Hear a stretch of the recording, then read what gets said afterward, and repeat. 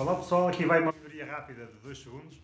Na semana passada tivemos uma visita ali na nossa empresa e alguns dos participantes uh, colocaram o nome da empresa no Google Maps e foram enviados para o local errado. Portanto, vou fazer aqui uma pequena correção.